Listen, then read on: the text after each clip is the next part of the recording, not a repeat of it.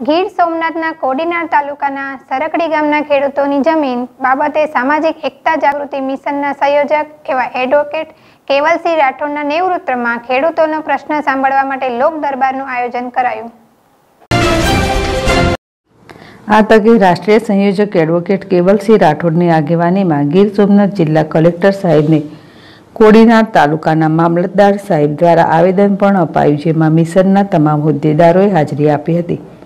આ તકે ગીર સોમનાથ જિલ્લા સામાજિક એકતા જાગૃતિ મિશનના અધ્યક્ષ આશિયાનાબેન કાર્યકારી અધ્યક્ષ સંજયભાઈ કોડીનર તાલુકાના પ્રભારી ઇન્દ્રિસ ખાન, કલબુ નકવી, રાજેશ સોલંકી, કુંભભાઈ ફરૂખભાઈ, સદામભાઈ, દિવ્યેશભાઈ, અશરફભાઈ હાજર રહેલ.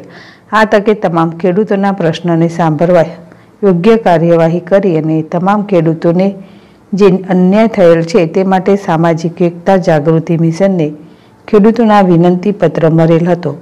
તે બાબતે કોડીનાર મામલતદારશ્રીને આવેદનપત્ર આપવામાં આવ્યું હતું.